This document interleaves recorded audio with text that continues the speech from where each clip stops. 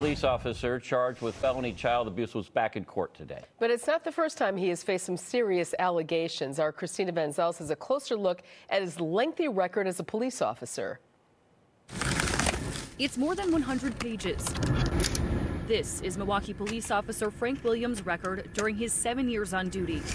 The 30 year old is currently charged with felony child abuse, strangulation, and suffocation and has been suspended since January after those allegations. But it's not the first time the officer was under investigation. He was sworn in in 2016. Since then, police records show the officer was suspended seven times Williams has been investigated for more than 30 misconduct allegations in nearly 20 incidents. Some of those incidents include battery and excessive force, turning off his body camera, keeping a drug house, and making inappropriate sexual comments to women and coworkers. In 2018, records show he was accused of using his position to interfere with an investigation by calling his brother to let police know they were on their way. In March 2023, investigators say his personal car was stolen and later involved in a shootout with MPD officers during a high-speed chase.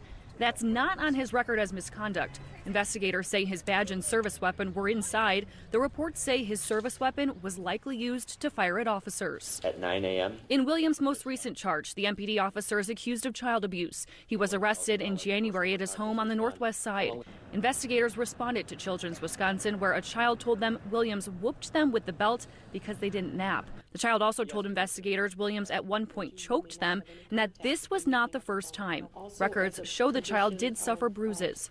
Monday, Williams was back in court where he waived a preliminary hearing and pleaded not guilty. Reporting in Milwaukee, Christina Van Zelst, Fox 6 News. Christina, thank you. Williams hosted bond and is out of custody. He's scheduled to be back in court March 7th.